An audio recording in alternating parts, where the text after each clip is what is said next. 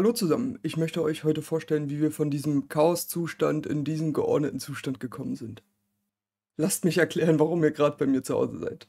Und zwar habe ich den Schaltschrank zu Hause zusammengebaut. Das hat erstmal den Hintergrund, dass man als Laie locker mal 100 Stunden reine Montagezeit benötigt, um so ein Ding zu erstellen und weitere bestimmt 200 Stunden für Recherchearbeiten. Und dass das Ganze auf Zimmertemperatur zu egal welcher Uhrzeit und auf äh, angenehmer Arbeitshöhe einfach mal viel besser ist, das brauche ich bestimmt keinem erzählen. Und wenn man mehr Zeit insgesamt einplant, dann kann man auch mal nach Angeboten Ausschau halten zum Beispiel. Oder auch einfach kleinere Mengen einkaufen, wie zum Beispiel Meterware in, bei so 10 Quadratleitungen zum Beispiel in diversen Baumärkten. Das funktioniert auch. Ich fand es auch super, dass es sich schon gelohnt hat, wenn ich einfach nur 15 bis 30 Minuten Zeit dafür hatte.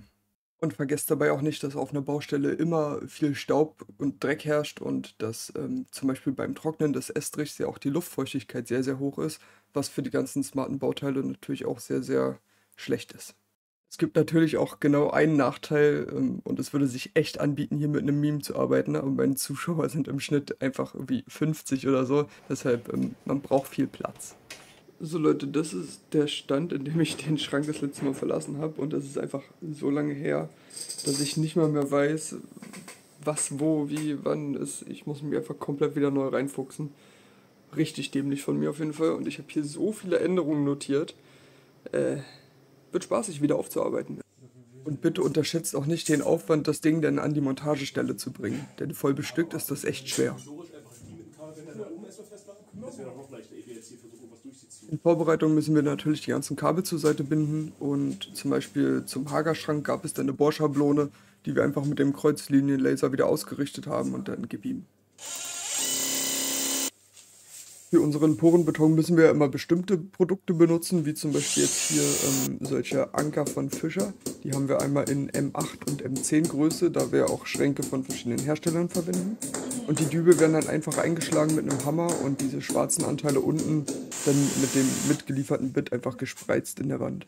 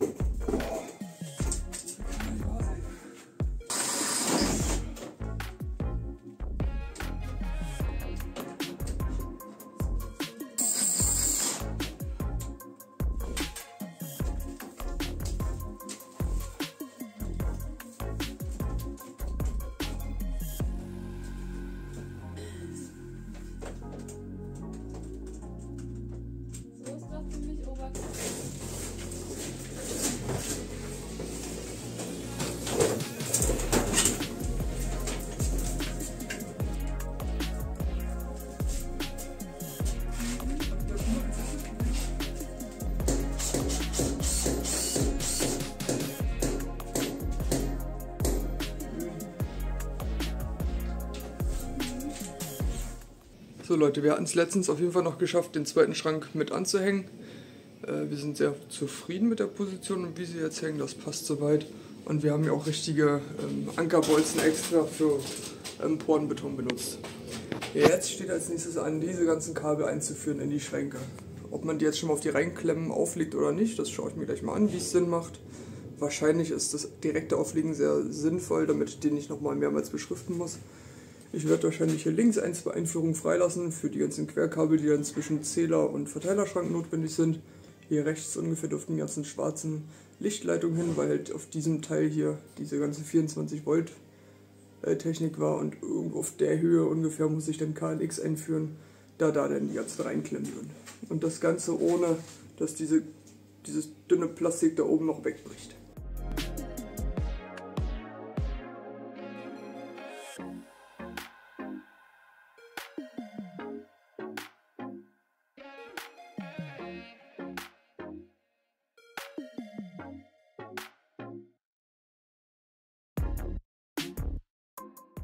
Ich will euch mal den ersten Zwischenstand geben. Also so schön mit denselben äh, Biegeradien, wie man das in so Videos sieht, äh, kriege ich das auf jeden Fall nicht hin. Und allein dieser Platz hier oben, da passt nicht mal ein Finger zwischen. Und ihr seht, ich habe mir schon die Finger poliert wie Sau, mir tut alles weh. Also ich weiß noch nicht ganz, wie man das viel besser machen soll. Ja, ich habe mir jetzt ein bisschen so ein System überlegt, da ist mein, mein Plan. Ich habe immer so Blöcke schon mal aufgeschnitten, wo ich überall durch will und versuche die jetzt hier ein bisschen sortiert mit ein bisschen Spiel, falls man irgendwie, irgendwie das Kabel nochmal nachziehen muss oder so, hat man einen Bogen zur Verfügung, einfach um besser ranzukommen. Wir haben hier schon die Vorbereitung für noch so eine Schutzblende oben drauf. Deswegen denke ich mal, ist das hier erstmal kein Problem. Aber ja, äh, schön ist was anderes, ne? wenn man sich das da mal anguckt. Also der Hauptteil der Stromleitung ist jetzt eingeführt. Ich habe da auch so ein bisschen ja, bessere Technik bekommen. So dass zum Beispiel das hier sieht jetzt ganz okay aus, damit bin ich recht zufrieden. Ansonsten habe ich noch die ganzen KNX-Leitungen zusammengeführt zu den Dingern da. Denn hier noch zweimal Netzwerk, die ich dann hier in den 3D gedruckten Dingern abschließen möchte. Dann haben wir hier noch die Kontakte von der Haustür, die ist halt genau hinter der Wand, weshalb ich mit den Originalkontakten hier reingehen kann. Dann haben wir hier noch einmal normales Telefonkabel für die Gegensprechanlage. Hier haben wir unser ähm, 18 Ader-Kabel für die Treppenbeleuchtung. Das hier ist unsere Zuleitung für 24 Volt für die Visualisierung, falls ihr da nochmal extra Saft braucht. Ähm, zum Beispiel die hier oben, das ist so eng, also da, da weiß ich echt nicht weiter, das kriege ich nicht viel besser hin. Hier, das hier funktioniert ganz gut, hier die dünnen funktionieren, also 1,5 Quadrat funktioniert auf jeden Fall immer gut, da gibt es gar keine Probleme. Die habe ich ja, wie gesagt, ganz gut hinbekommen, wenn hier ein bisschen mehr Platz ist, aber das hier oben, boah, ist scheiße.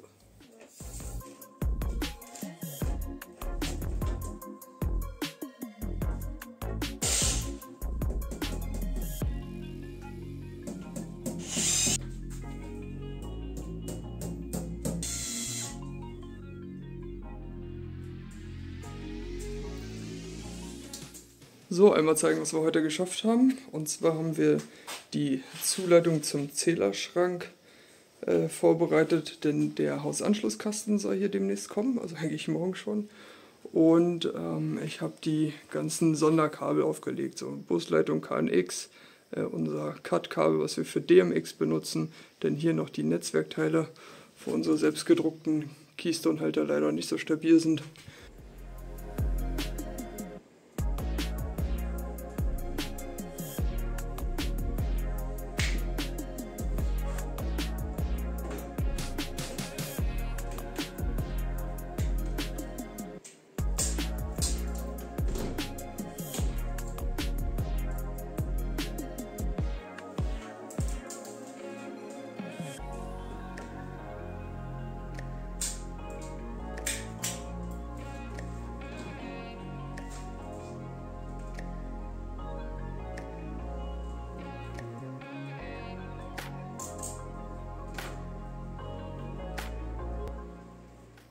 Ah Leute, schaut mal, als wäre nie was gewesen.